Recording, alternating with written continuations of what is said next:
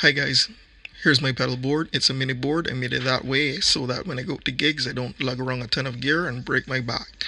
So let's take a look and see what's on the board. Yep, here's my tuning pedal. It's often called the best sounding pedal on the board. Up next we have the distortion pedal which I use for hard rock or heavier guitar tones. And next to that we have the overdrive which I use for edge of breakup and some of those cleaner rock and roll tones. Here we have my flanger, which I use for modulation, chorus, etc. Next to that is my delay pedal, which I use for long delays.